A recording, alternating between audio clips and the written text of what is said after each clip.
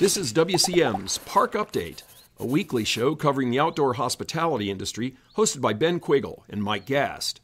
During each episode, you'll hear from special guests and campground experts on topics that will help your park flourish.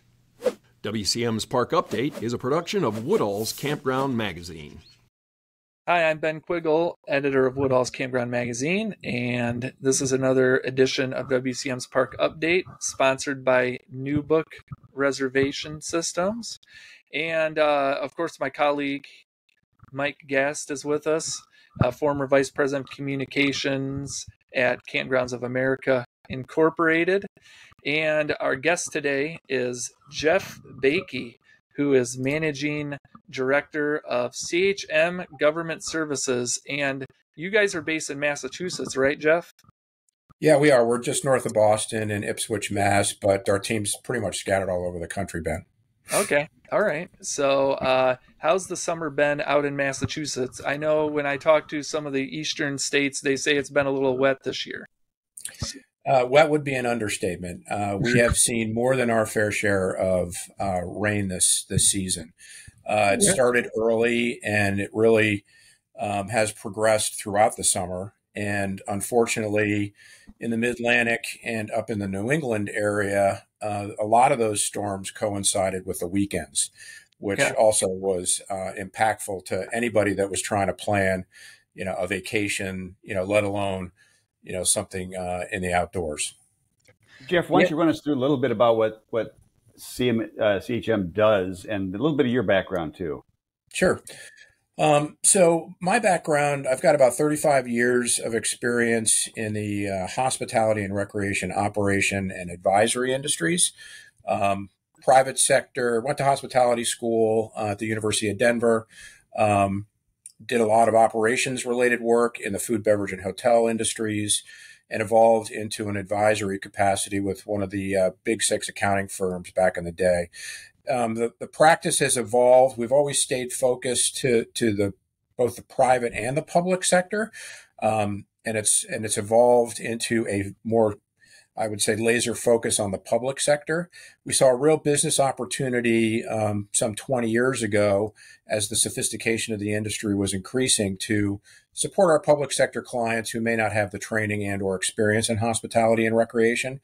And so um, those opportunities took us to a lot of the federal land management agencies, state land manage- management agencies, as well as um, the DoD, and uh, so we have been working actively with uh, the Air Force and the Army and uh, and and the Navy. So um, great great set of clients, but and, and really appreciate the expertise we bring. Um, but we're we're very much a boutique consulting and advisory practice, Mike. I mean, um, although we've got a team across the the country, we're small, we're nimble. Uh, we have anywhere between eight to 10 dedicated full time employees, but we ramp up through a bullpen of subject matter experts and subcontractors that are 30 to 40 deep at any point in time. So there's not really an asset class or a situation that we run into where we can't bring the appropriate expertise to render the advice and and and uh, and, and advisory services that we need to for our clients. Yeah, um, so I guess you know we've been hearing a lot about new funding sources for a, a lot of the public parks. I guess what is it? How has that impacted what you guys do? Um, have you guys been pretty busy with consulting and and diving into a ton of different projects when when you look at your public portfolio? I guess. Yeah, um, you know, we uh, obviously experienced a pretty significant slowdown during the pandemic. Um, a lot of our federal clients um, put many of our contracts on ho- on hold. Um, but uh, since really the last half of 2021, uh, we've seen a continuous ramp up in our volume of work um, mm-hmm. that has resulted in an expansion of our team. Um, and it really is across the portfolio. I mean, we're continuing to do a lot of work with the National Park Service um, in terms of leasing and concessions uh, as well as strategic advisory work as they look more strategically at their portfolio uh, and how best to manage funding um, projects and the timing of those projects. But we're also seeing a lot of activity across our state park portfolio.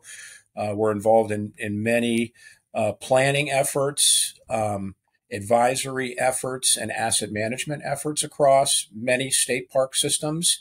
Um, we've also recently got involved um, within the the sovereign nation industry. Um, you know, our Native American um, partners, yep. you know, have have looked to expand their hospitality and recreation portfolios, especially around their gaming assets. So we've gotten involved with quite a few um, nations in terms of how how best to be looking at the hospitality portfolio. So it's been very active, um, and you know we're very very pleased uh, that it's active and it beats the alternative that uh, we experienced in 2020 and 2021. So Geoff, yeah. do you get involved in the uh, in the operations themselves, or just on the consulting side? No, strictly on the on the advisory and the asset management side. A lot of times, Mike will get asked to source management um, and and evaluate and provide an opinion on which management company or what operator might be appropriate for a particular business opportunity. And, and the only time we really get involved in the quasi management side is as, a, as an owner's representative. So we may get hired as an asset manager owner representative because our client may not be as sophisticated as they need to be to understand the nature of the business. So we sit as the owner's rep and oversee the manager or the operator. Okay. Yeah. Um, so I guess you know uh, when you're consulting with a lot of these groups, I guess what are they what are they looking for? Maybe on the amenities side, what are you not- Are you noticing more public parks getting deeper into the amenities now? I, I mean, on my end, I notice a lot more installing yurts and installing canvas tents and doing these partnerships.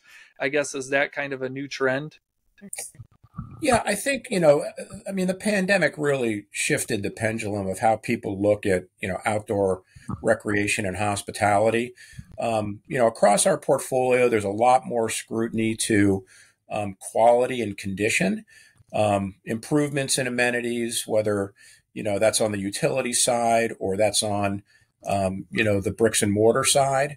But, um, an elevation of the overall experience is really kind of what we're seeing a trend in expansion of amenities uh, where there may not have been you know restrooms or, or showers or laundry facilities improvements in the utilities as i had mentioned improvements in the sites themselves um, and and the other thing that we're seeing is really a, a more strategic look at the composition of experiences that mm-hmm. um, our clients are offering their their visitors and guests and it's not to say that you know they're avoiding you know the existing inventory of sites, but they're looking at how best to complement those sites with other uses that um, might appeal to you know the outdoor hospitality industry, whether that be you know camping cabins or you know yurts or or the glamping experience, but really just a much more critical look at how best to diversify their offerings. So, do you run into conflicts with uh, with the private sector that may be surrounding some of these public sectors when they when they see this as unfair competition? You know, I, I um, I I don't see that specifically, Mike. Although, excuse me, I'm sure it exists. Um, you know, there's there, we're kind of protected and insulated our markets, um, and so I think you know a lot of the improvements you know, it's one of those things where I think the market overall is looking at elevating the experience, and with that elevation, um, it's just overall better for you know the entire industry and the entire operator and visitor experience.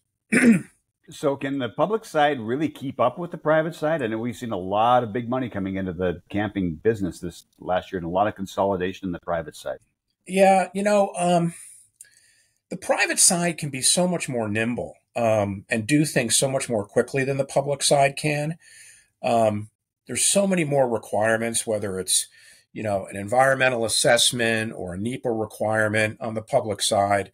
You know, especially as it relates to our federal land management agencies, the states are, are a little more nimble, but there's so much political scrutiny um, overall that it's just it's much more difficult for them to react as quickly as the private side. So a lot of times they're they're chasing the the, the private side of the industry in terms of um, not only the pace of improvement but also the evolution and innovation of improvement. Yeah, how you know. Um, what's that you know what's the feedback you guys do get when from the public are, you know are they generally on board with you know all of the new things that state and public park, you know, state national parks are doing, or do you still get, you know, is it still rough? You still get some rough feedback from these communities sometimes where these parks are located, I guess. Um, well, you know, there there's certainly scrutiny, um, and I think the intention, the underlying intention of everyone is to, you know, play well together. Um, but everybody's looking after their own business initiatives. Um, although the private sector can resist, push back, be vocal, um, you know, at the end of the day, the public sector, whether it's the federal feds or the states, you know, have an interest in complementing, not competing, but also driving their guest experience. And I, I think mm-hmm. it goes without saying that, you know, a lot of our public sector clients subordinate their returns and their revenue, you know, to preserve, protect, and to provide favorable and high quality guest experiences. So, although I'm sure there's some pressure on the private side, I think it's mitigated a little bit because of the mission and the subordination of revenue and returns to the government so that we're we're not really providing an unfair competitive landscape. Do you yeah. uh, have any any numbers or any surveys that show how quickly the the federal government exactly is going to increase the amount of sites available? I mean that, that the inventory is is a problem across the industry, but I, I would think it's it's especially acute in these popular national parks. Yeah, you know, it's interesting, um, Mike, that you should bring that up. Um, there's no hard and fast data about that, um, you know, and it depends on who the client is or who the, you know, who who the, who the land management agency is. Um, you know, on the federal side, like I said, it's very difficult. It's very complicated, um, and in the short term, I think many of our federal land management clients are looking at how better can they recapitalize their assets through maybe a shift of ownership or a shift in how they look at managing. Um, and so, as opposed to self management, maybe the Park Service would look at a concession contract instead of um, self management. In the Forest Service, maybe they look at, at a lease structure that allows them to free up capital through an operator that might improve the experience and the overall uh, product that's being offered. On the state side, um, you know they're they're they're they're they're a little more quick to move. Um, they also have all of those tools, leasing, concessions, management contracts available to them. Um, we're seeing some of that um, in the state side, but there's there's no real expansion plan um, at this point in time that you could put your finger on. It's more an internal look of how do we deliver a better product and better manage what we have. Yeah, all right, well, we're going to take a break for a minute and recognize our sponsor, Newbook, and we will be right back with Geoff after the break. Calling all campground operators, owners, front desk heroes, and more. Say hello to your show sponsor, Newbook, your connected hospitality management solution, packed with the power to streamline your operations, maximize revenue, increase bookings, and deliver memorable guest experiences thanks to its suite of innovative and easy to use tools, backed by an expert customer support team cheering you on 24 7. So if you're ready to level up your campground and unlock more opportunities, head to newbook.cloud to start your journey today. Hi, welcome back to WCM's Park Update, and we are chatting with uh, Geoff Baekey the managing director of CHM Government Services, and uh, we're just talking a little bit about the you know some of the differences between the public and the private sector, and and how the public sector is adapting to camper demands of different things. I guess are you noticing more? I, government like state government agencies looking for more private public partnerships maybe than in the past i i know uh, we've seen some different ones with like some glamping groups and like even on the concession end. I guess is that something more government agencies are looking at? Yes, um, I, I, would say that um, they are availing themselves to entertain um, different operating models, and and it really relates on kind of where you know their assets are in the life cycle um, of mm-hmm. of maintenance and and capital reinvestment. And so um, they are availing themselves more, I think, now than than before um, on alternatives to self management. And um, you know, the Park Service has always been very ingrained in, in the concession concessioning of their assets and have a long history of successfully doing that. but I do think the states now are are much more open to the concept of public-private partnerships. Um, there's obviously a political landscape that needs to get um, to, to be navigated. Um, and there's you know constituent groups there that are keenly aware of and sensitive to job loss. And so yeah. um, a lot of what we do is educating and saying that you know just because you you know entertain some of these other business models operating business models doesn't mean that all your employees are going to lose their jobs. In many cases they're going to get hired by the new entity. So it it's um it's it's an evolving trend and i think it's um, it will continue to evolve but it does require a lot of education what about on? I know a lot of the feedback I read about when we post our news for Woodalls is, uh, you know, the public, the, the people are worried that you know the these companies may come in and and hurt the environment at the parks or or damage or or restrict access or whatever. Do you hear that on your end? I guess. Yes, we do. Um, you know, obviously, all of these land management uh, entities are hypersensitive about resource protection, yeah, um, and sustainability, and um, a lot of times we'll get brought in um, to evaluate kind of what some of their options might be to continue that preservation mission and and accelerate or how best to manage that preservation mission, and a, a lot of times we'll get involved with looking at um, not only the regulations, uh, the underlying legislation, the regulations, the policy that's involved behind resource protection um, and sustainable business practices, and we look at their contracts. Um, and oftentimes, through a review of their contracts and the supporting exhibit to their contracts, we can put more fire to the feet of the operators um, towards the mission of preservation and sustainability. And we look to do that a lot of times through what we refer to as an operating plan, which could be an exhibit to a, a formal contract that really spells out um, the responsibilities of the parties, not only the operator, but also the state or the Fed or whoever else. Um, and through that document, which is a living document that can get updated with the mutual approval of the parties, you know, we can bring um, you know, innovative methods or specific requirements towards resource preservation and sustainability to the operation of, uh, you know, a third party type of a contract. Yeah, yeah, mm-hmm.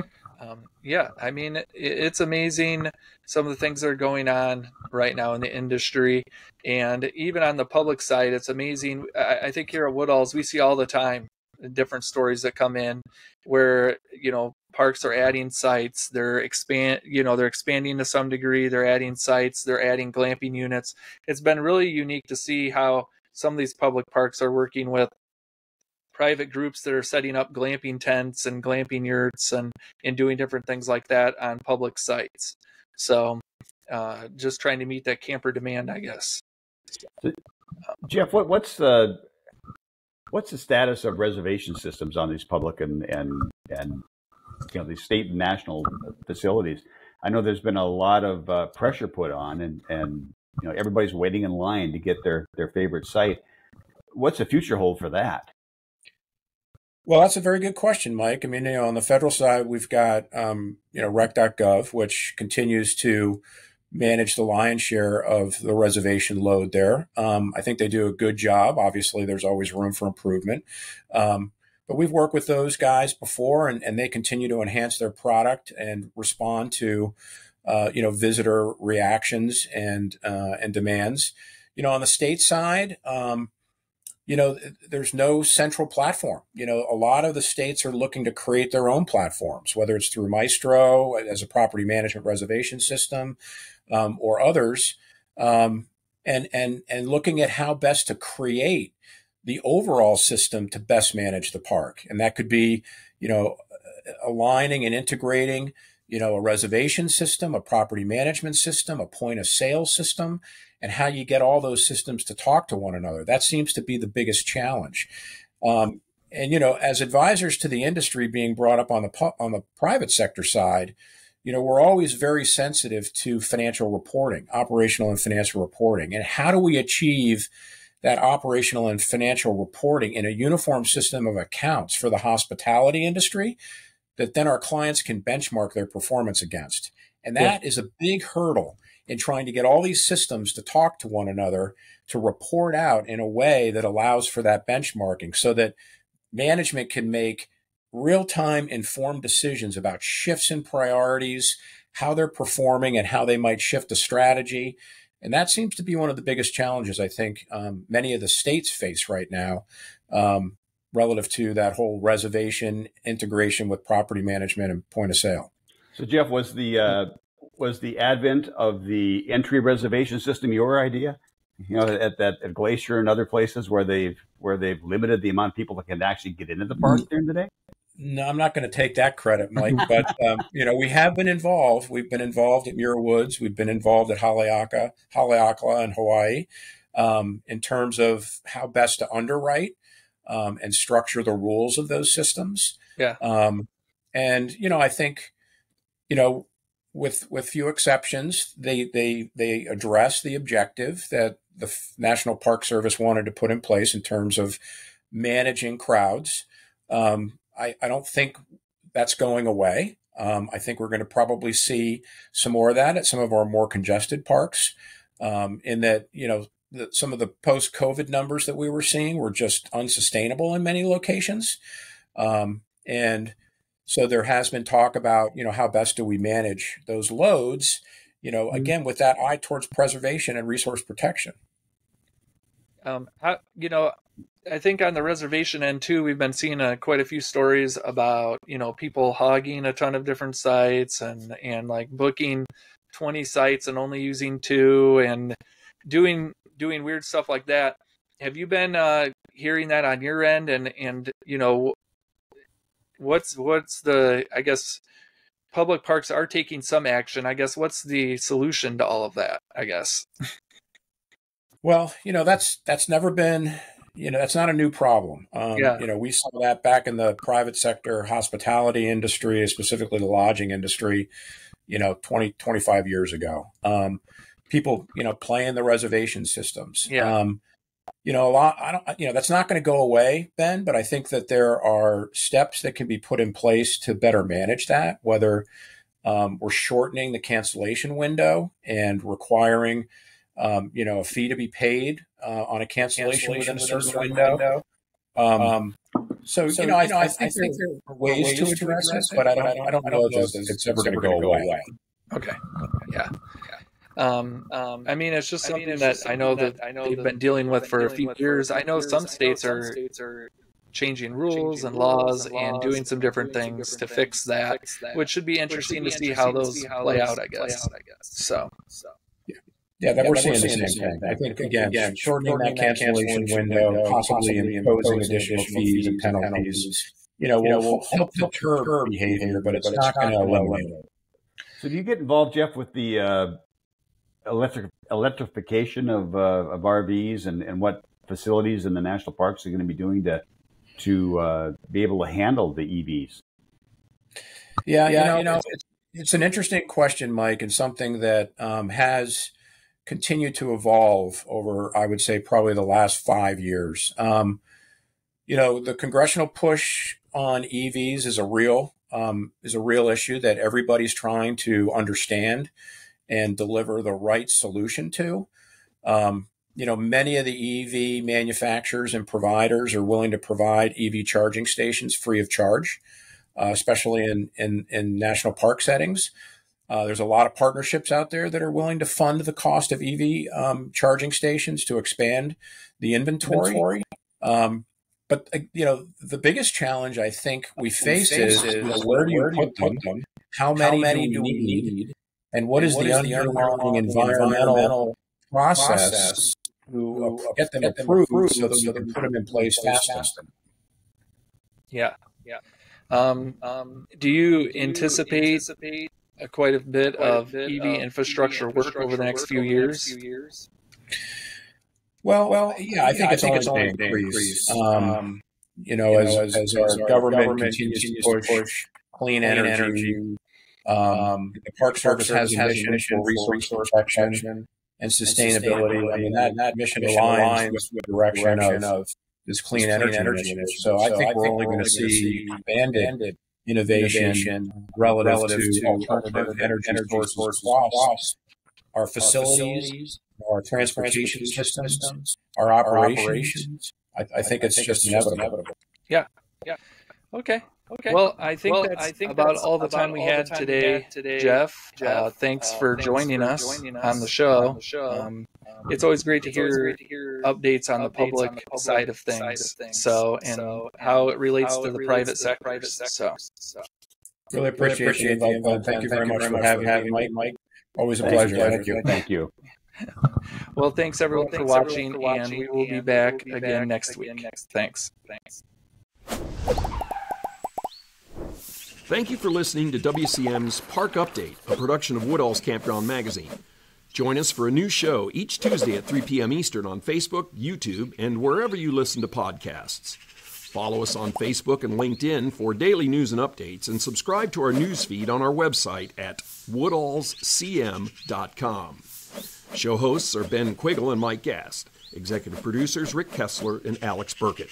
Copyright 2022 G&G Media Group.